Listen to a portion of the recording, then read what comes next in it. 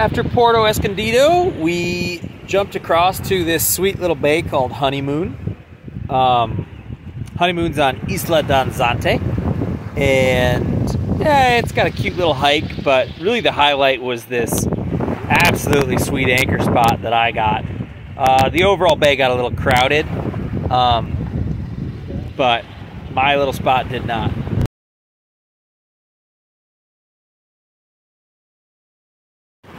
Heading south from Isla Danzante, we I got my spinnaker out. I knew it'd be a few days of downwind, so decided let's get the spin out, see what it looks like. Um, the first spinnaker run took us to Agua Verde, which is quite a pretty little beach and a pretty funny cruising community.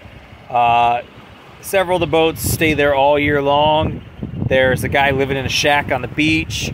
Uh, one of the cruising boats has a satellite TV set up uh, with a dish just chilling on a on shore.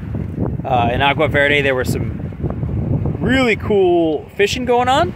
So watch the the next door neighbor catch um, a Pacific barracuda or Mexican barracuda, which is very different than the barracuda we have in the islands in the Caribbean um, and watch some Dorado come all the way into the bay to eat the bait fish in there. From Agua Verde, we jump south, spin sailing each time. Spent one night in Los Gatos. Checked out the cool rocks, went on a fun hike with the parents. Los Gatos has pretty unique red rocks that are unlike most of the other rocks in the Sea of Cortez, and uh, a pretty stunning cliff hike that you can uh, hike up and overlook the, the sea.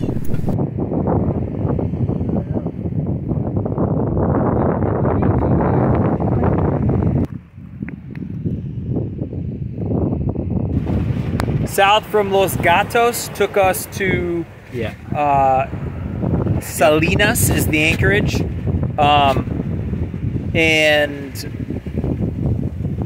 a really great day fishing. Man, I lost two lures, but we caught first Dorado of the beautiful trip, and probably five or six bonito, none of which we kept to eat because, uh, well, bonito.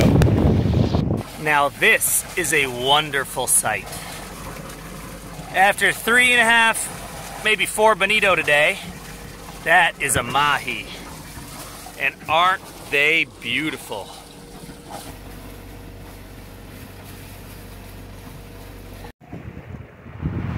From Salinas to Isla San Francisco, uh, both mom and dad and I ended up catching a chiro. So freezers got stocked with delicious fish. They call them Sierra mackerel here.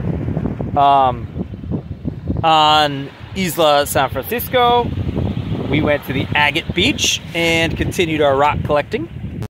So we have here for display some pristine Isla San Francisco agates.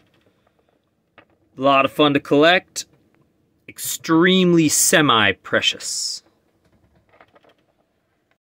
From San Francisco, we sent it all the way to La Paz, one long spinnaker sail. About halfway through, I started getting cellular. Went up the mast to, to get the cellular. Uh, first cellular in a week or so. Um, caught a nice Dorado to keep adding to our fish stores and stopped for the night just outside of La Paz at a bay called Pichilingue. La Paz is the cruiser haven of Baja. Uh, it's where the Baja Ha-Ha, a large rally down from California, pretty much uh, about half of them stop there. Uh, and then to add to that, there's a great deal of liveaboards.